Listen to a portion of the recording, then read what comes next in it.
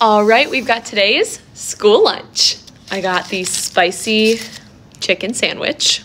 It looks like a spicy McChicken. I'll put on the mayo first, and then some shredded lettuce. And now we have a school lunch spicy McChicken. Let's try it. Cheers. Dip it in ranch, obviously.